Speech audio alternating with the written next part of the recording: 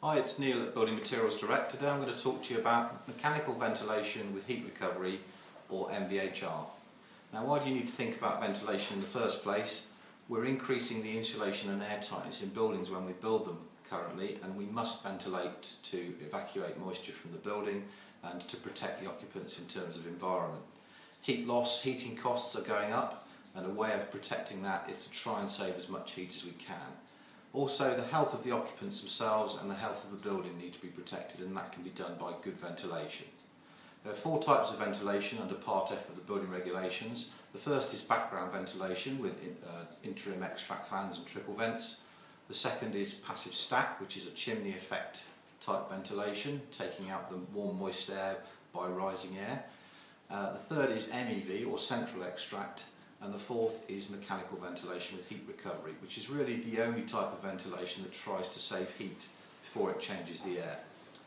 How a heat recovery system works is basically by extracting warm moist air from the wet rooms at the same time bringing in fresh air and filtering it and trying to transfer as much heat as possible from the old air before the new fresh air is heated with that air and put back into the rooms.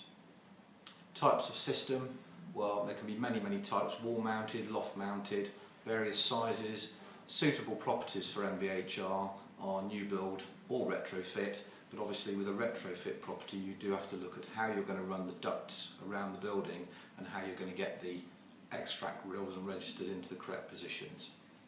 The advantages of whole house heat recovery system are that they're very quiet to run, there's only one breakout point, uh, only one set of connections to the machine, There's no noise, there's better security and no pollution because you can keep your windows closed in the property.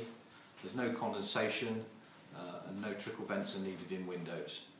You've got a healthier home and you've got sustainable ventilation. So if you're interested in learning more about MVHR, we can design, supply, install and commission, if necessary, systems. For more information, hit the inquiry button.